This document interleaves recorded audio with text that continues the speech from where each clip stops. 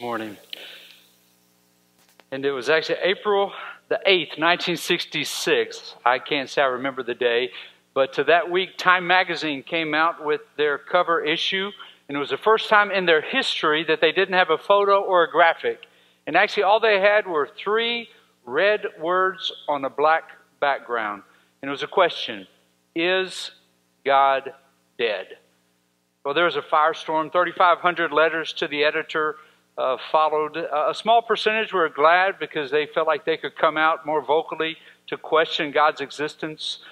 And uh, it, it, began or actually continued a conversation that continues to this day. And uh, I, I just speculate if they were to come out with a new cover this morning with just words and no graphic, I think it may have four words and a different question. I think the question may be Is the church dead? Because some are saying that it is, or it's on its way, or it's on life support.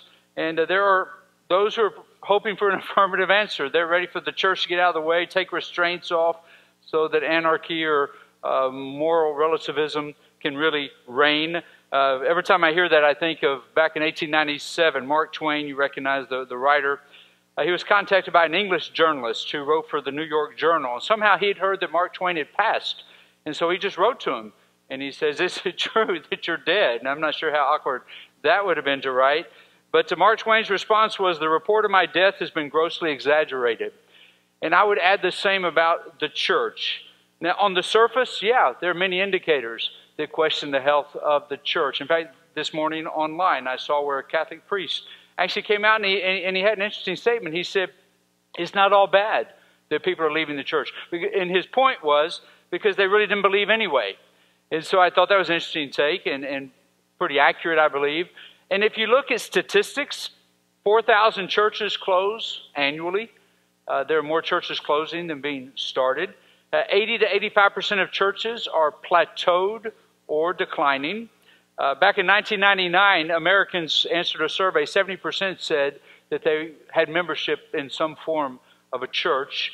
2020, uh, 47% claim that they have membership in some form of a church. Uh, in the pandemic, over 100,000 nonprofits, many of them Christian oriented, closed uh, because of the challenges. And yet the church continues.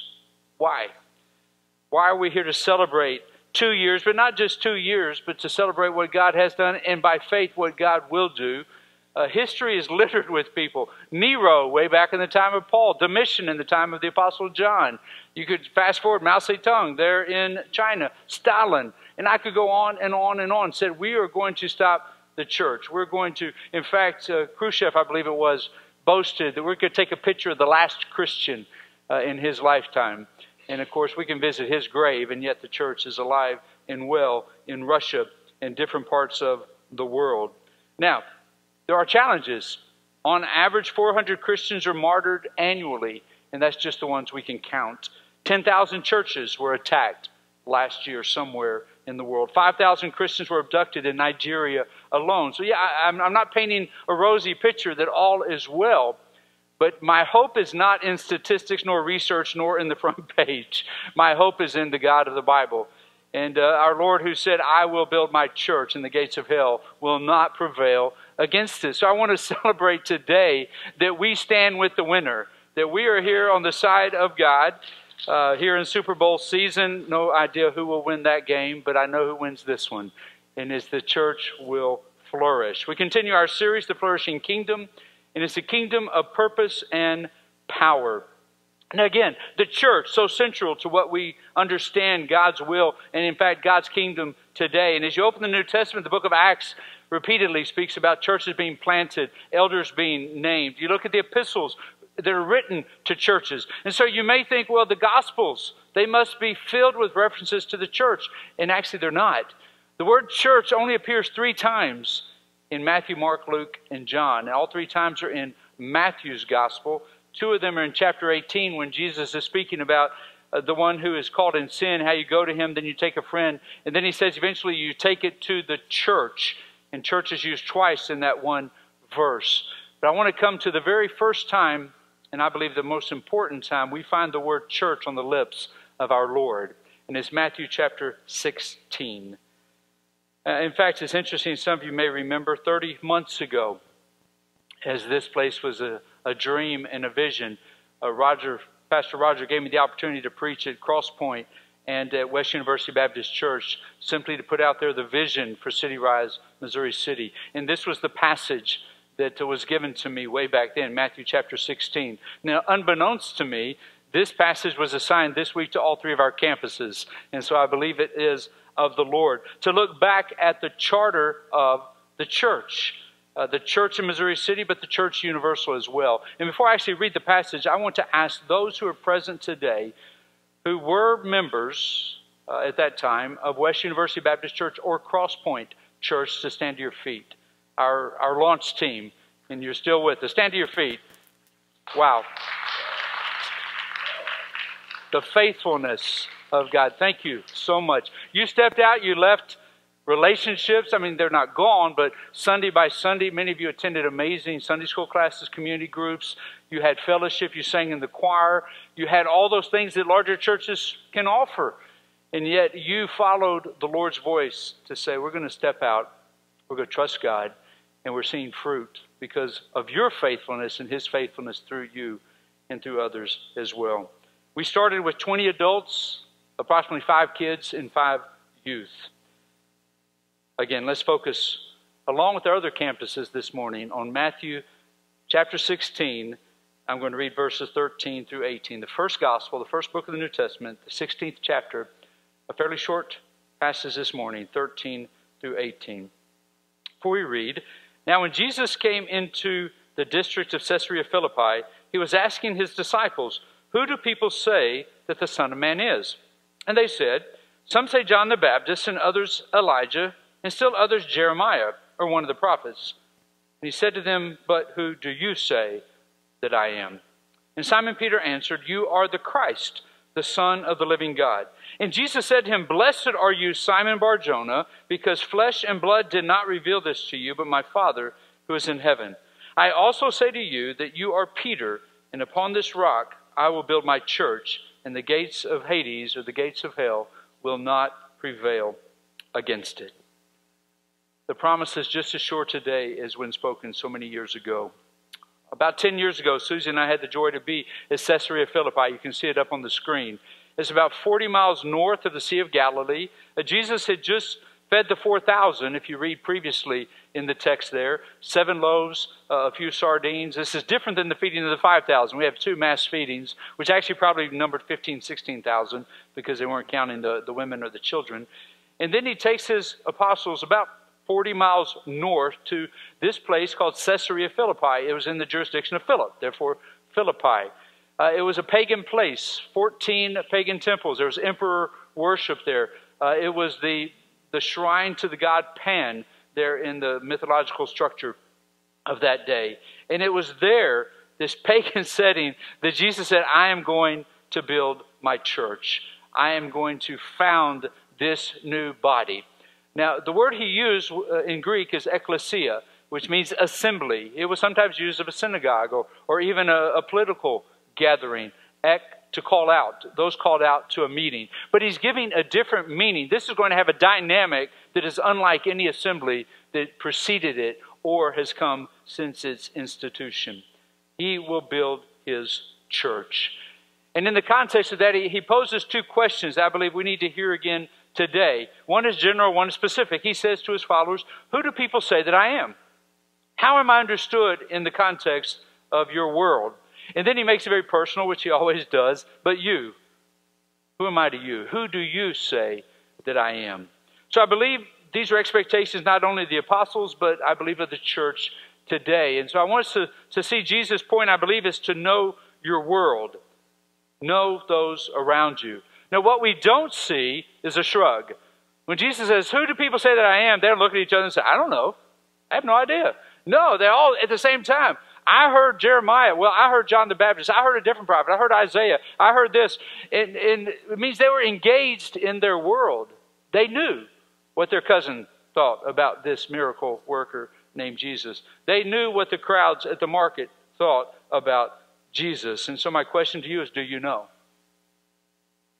Who is Jesus to your neighbor? And I ask myself that. And, and honestly, it's been very difficult to meet our neighbors.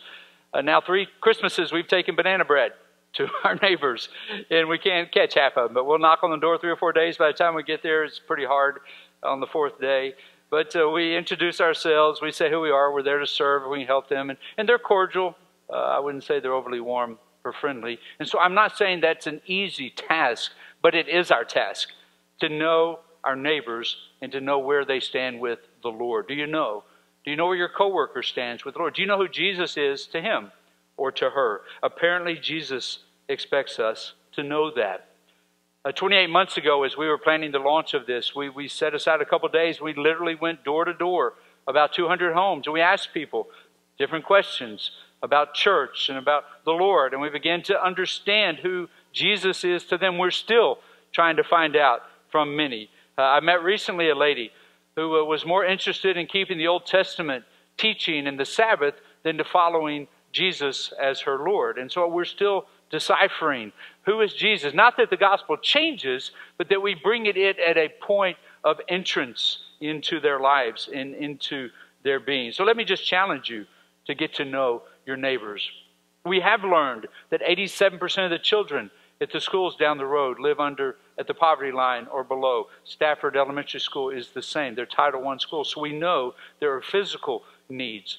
We know that many are being raised by grandparents. We know that many are struggling with food security. We know the reality. We're beginning to know the reality who Jesus is to them. And the truth is, sometimes it's hard to ask the question of the gospel when someone hasn't fed, been fed in a day or two. So it's not either or. We bring bread and we bring the bread of life at the same time. And I believe Jesus expects us to know who are our neighbors. We've met over a thousand people who've driven down this driveway to my left to, to put food in their trunk. We've met over a thousand students who either go to uh, the, the Missouri City Middle School or Stafford Middle School, and they've come to either the Cougar's Den or now the Spartan Spot, and we've given them something tangible in the name of Jesus. So, yes, we are beginning to know who Jesus is to our community, but there's still much work to do. Who do others say that I am? Well, then he makes it personal, but you. Who do you say that I am? Again, he just fed 4,000, probably more like 15, 16,000. To them, he was a miracle worker. He was a, an amazing teacher. He was one who spoke with authority. He was a rabbi. He was a, a model. He was an example. He was all of those good things, but that was not enough of a description of who he is. And that's why Jesus says, okay, they think they're being complimentary to say you're like John the Baptist you're like Jeremiah, and there was a compliment. It'd be like if someone told me you're like Spurgeon or Wesley, that'd be great, and that, that would be all that I could aspire to. But our Lord was the Christ, the Son of the living God, and therefore he expected more. And that's why he asked the question, but to you, who do you say that I am? And Peter, speaking for the 12, I believe, in verse 16, says, You are the Christ. That's a Greek word. Hebrew word is Messiah. You're the Messiah, which means anointed one. You're the promised one. You're the sent one. You're the Christ, the Son of the living God. Know him. Again, notice what Jesus doesn't say. And this just actually struck me a few years ago. Jesus doesn't say to Peter, finally, after three years of pouring into you and these other 11 thick headed guys with parables, with lessons, with late night fireside chats, with miracle after miracle, Peter, you finally get it. That's not what he says. Because even though Jesus had taught repeatedly, and he said, remember when John the Baptist sent his envoy to say, Are you the one or shall we expect another? He reads that out of Isaiah. He says, Tell him that the, the sick are healed and the blind see and this is the day of the Lord. He's saying that I fulfilled what Isaiah wrote. And yet they still didn't get it. So what does Jesus say to Peter? He doesn't say, finally, you come to this on your own. No, he says, flesh and blood did not reveal this to you, but my Father who is in heaven. Why is that important? Well, I'll tell you, in my ministry, it was freeing.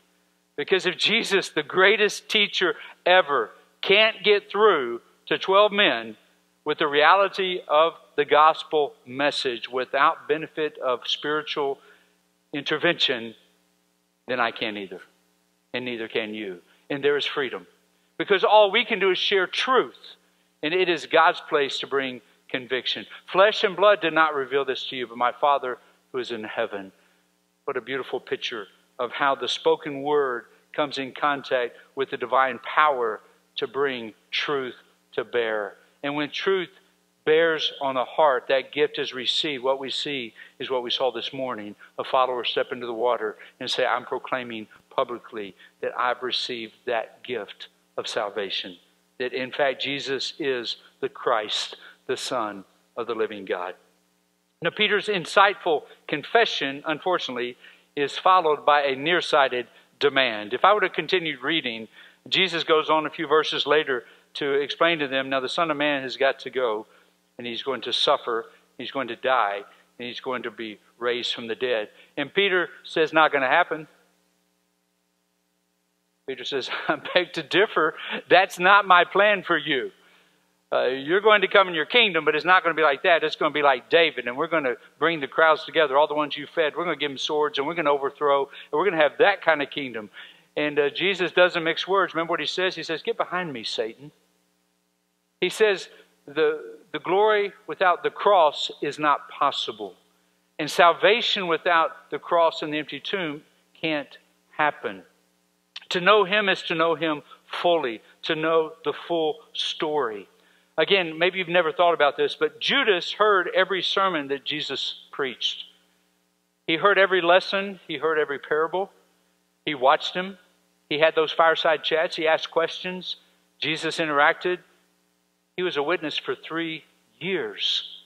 And at the end, he still said, Don't think so. I'm not going to accept Jesus on his terms.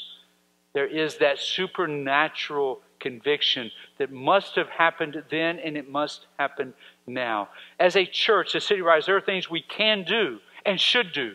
And we should be the hardest working church. We should be up before others praying. We should go to sleep after others, making phone calls, making contacts, taking food, loving on orphans and widows, visiting people in the hospital, bringing hope to the hopeless. Yes, that's what we need to do, but we need to understand only God can change a heart, a life, a family. Only God can heal, and we've seen Him do it. Only God can intervene into those situations that seem beyond hope. But it's hand in hand as we're obedient and we're cleansed and we're forgiven and we're humble and we're useful in His arms that not only can we know Him, but others can know Him as well.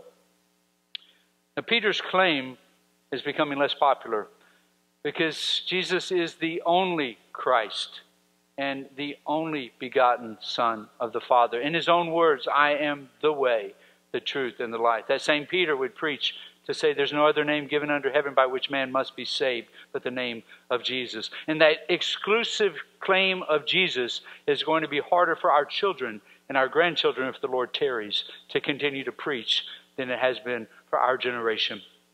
I don't know if you saw the photo of the man in the Mall of America. I believe we'll have it on the screen on the front of his shirt it said Jesus saves, and and that was a little bit unacceptable. But what he had on the back of his shirt was even worse, because on the back it said Jesus is the only way.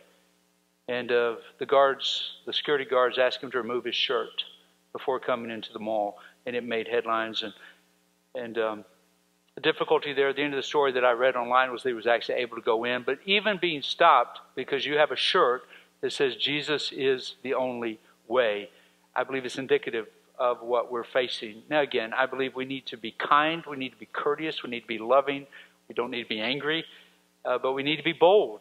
And uh, it's sometimes hard to put all those in the mix. Well, the church today is declining. I gave you statistics. And so, again, I, I don't want to gloss over that. And there are reasons. Uh, the mainline churches, if you understand that phrase, to be contrast to evangelical churches, many times they're declining because of a liberal understanding of Scripture. Uh, I understand the logic is just not biblically sound, and the logic is well, people are leaving the church uh, for different reasons, so let's make it easier for them to stay in the church. So we'll water down to say uh, it doesn't matter what the Bible says, everybody you know can make it to heaven on their own way, just love people, and, and, and, they water down the gospel. What actually happens is when people realize, well, I don't even need to be there. I can get that from Oprah. I can get that from TV. I can get that on my own. And so that's why the liberal churches, because they, they've left sound doctrine. Now, uh, oftentimes, the conservative churches are losing people because we've lost relevance. We've lost connection with our community. That many times churches are turned inward and they, and they beat the pulpit and they say, We're right and our doctrine is good, but the, the sad truth is nobody's hearing it because it's just a gathering of the family. And those outside the family don't feel welcome because they don't dress the same way or, or use the same vocabulary, or maybe they struggle with things differently than the family members. And that's why sometimes conservative churches are declining. And so we hold up both. We're gospel centered. We've said that from day one, but we're community focused. Whatever your hang up is, whatever your addiction is, it may be different from mine, but you're welcome here. These doors are open because the church is here to serve Christ and to reach the world. And those will always be our priorities. And Jesus is the only way. That's not because we're exclusive, it's because He is exclusive. Let me just say this if there's any other way to heaven but the cross, then the cross was unnecessary. And it was the cruelest thing our loving God could have done. Why did He make Jesus, although Jesus chose, go to the cross if there's some back door, if there's some plan B, if there's some other curtain, we can say, yeah, but I'm going to get in because I'm a good person. There is no other way. Know Him, our Lord says. Well, finally, I do want us to look at know His church. As I've said, ecclesia, assembly, but uh, this is a new version. Now, when, when Jesus was at Caesarea Philippi and he said, I will build my church, my conviction is the apostles are like, good, yay. What does that mean? They had no framework. It wasn't like they could go back, oh, is this going to be like Moses' church that he did? Or is this going to be like David's? No, there was no precedent. And so by faith, they're like, okay. And of course, in Acts 1 8, he says that you're to wait and then you'll receive power and the Holy Spirit will come upon you and you'll be my witnesses. And we're going to see the birth of the church. So by faith, they continued in their walk with the Lord, 11 of them being faithful, and they began to understand what it meant to be a church. Again, Peter wanted a church without a crucified, risen Lord, and Jesus said, Get behind me, Satan, that that was going to be a prerequisite. And when we put the stake in the ground at 2106 Fifth Street two years ago, we did so on the promises of God. There's nothing in me that thinks those of you that stood a while ago looked at me and said, This guy knows what he's doing. Uh, don't tell me either way. But I don't believe that's what the impetus was. I believe it was the understanding a holy God is going to elevate his name in a community where it's maybe been forgotten. And we want to be on the front line to do that. And so we have been going door to door. We have been uh, working with children on Thursday nights. We have been doing a myriad of events to see them come in and go down a water slide and to be a part of eating uh, hot dogs and hamburgers and, and loving on children and doing all that we do. And because of that, God has reached down in His grace and He has touched lives. If you've been baptized here the last two years, I want you to stand to your feet. Look at that. Amen. Amen. You may be seated. Actually, those who've been baptized equal now the group that launched. And, uh, and I believe, again, the best is yet to come. God is working in our community. And Jesus said, I will build my church. And don't, don't miss what he says after that. In the gates of Hades, some will say, which means the grave or the gates of hell, will not prevail against it. Again, gates are defensive. Uh, Satan does not attack us with gates. No, he's not roaming to and fro carrying gates to come at us. His gates are there to protect his territory. And what the promise is, is that the church on the move will invade and will take back the territory that the evil one, that the deceiver, has been taking for far too long. That's why the church is here to win. It's not here to be a social club. It's not here to impress people. It's not here so people can clap and say, Thank y'all for doing good things, though I appreciate when others notice that. It is here to take back territory that rightly belongs to the Father because He's not getting glory that He alone deserves. And that's what happens when the church literally becomes the church. We have prayed over 500 houses within a mile or two of this place. And we pray for God to have His way in those houses. We've left tons of literature inviting people to different events. We've tried to be God's hands and feet where we've seen Him heal people Families come together. People get jobs, practical steps where people in this place have been used to bless people around this place. Again, 85% of the churches may be declining, but our Lord's promises aren't. He is still sovereign, and I believe that the best days are yet to come. Recently, I had the joy to be in Kenya. Many of you know that. And I, I, I met Josephat. His picture is not Jehoshaphat, but Josephat, uh, a man who about 20 years ago heard the gospel from uh, a man in another village. They were in a town at that time. And he went back, and, and the, the Lord just gripped his heart. And he sought that man out later, many, many miles walking, to say, I, I can't get out of my head what you said. And, and he came to faith that day. Well, he went to, he lives on the side of a mountain, and he went to the side of the mountain. And, and it's hard for me to describe the acoustics. One day there was a guy, he had to be at least a quarter of a mile, if not further. And Josephat yelled to him, and he yelled back, and they had this conversation in this valley. And he would get out and he would preach on the side of this mountain. He said, more days than not, people would come and beat him up because he would preach the gospel. There's not another believer in that valley. So he said he wisened up. He said, I started doing it at 7 p.m. because it was getting dark and they wouldn't walk in the dark. And so he could finish his sermon without being beaten. Well, fast forward 20 years, he's been instrumental in starting over 20 churches, not just in that valley, but the next valley, in the next valley. And I was able to speak in one of those churches. Just started in the last year, and about 40 people gathered, and they danced their Messiah dance, and they were so joyful in the Lord. And to see God's church is winning not just in Missouri City, but around the world. Five years ago, I met a man who had been to northern India, and you're going to see a, a photo or a picture that you may recognize. And uh, this was uh, a Muslim man in that northern state of India. And uh, my friend and his friend were there on a mission trip. They've been there five or six days, and they're literally walking to the taxi stand to take the taxi to the nearby city so they could fly back to the States. And as they were walking through this alley. They were startled. It was already dark when they heard this greeting in English uh, Good evening. And they'd already decided wherever someone invites them into their home, they'll drop what they're doing and they'll go. And this voice in the darkness said, Good evening, are you Americans? And they said, Yes. And he said, Well, would you join me for tea? And uh, they looked at each other in the dark and said, Of course. And so they go in, and this is where they're invited in. It's an art studio. And this man goes in the other room and he begins to make tea. And they turn around and they see this painting, not what they expected, in the Muslim painter's house. And uh, the guy came out with tea and they said, uh, Tell us about this one. And he said, Oh, that's my favorite one. Do you like it? And uh, they said, Yeah, we, we really do. Do you know who that is? And he said, No. Do you know who it is? He said, I just saw this picture in the back of a magazine. And they said, Yes, we actually do.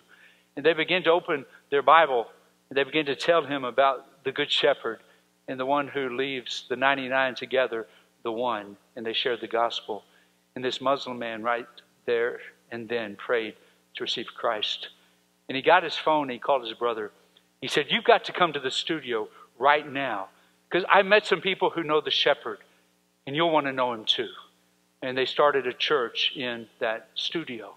The church is God's body to win and it will continue to make progress as it follows the mandates of the Lord.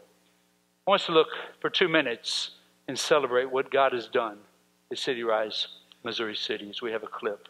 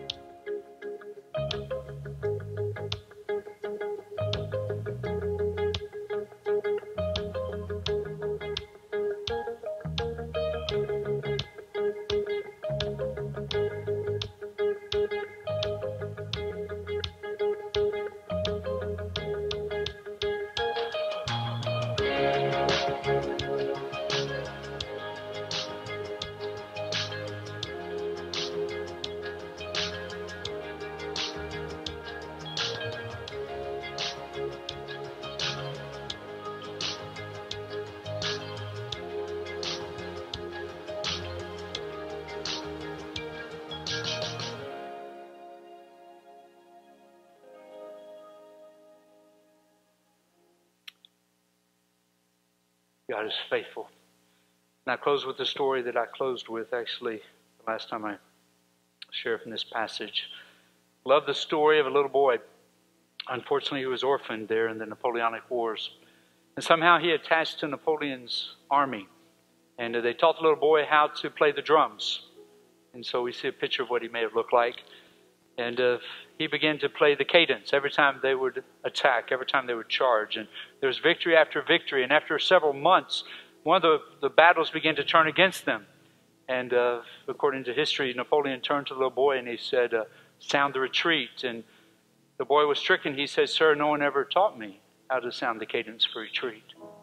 And supposedly Napoleon smiled. He said, Well, in that, in that case, sound the charge. And so they played the charge, and actually the battle turned, and they won it. There are many today that would say it's time for the church to signal retreat. It's time for you just to close the doors, keep to yourself. If you want to be quiet, that's okay. But there's no place for you in our society. But I beg to differ, and uh, on the authority of none less than my Lord, who said, I will build my church, and the gates of hell will not prevail. Father, I thank you. Lord, that you are faithful. Father, you do not bless us because we're faithful, but Father, we trust you.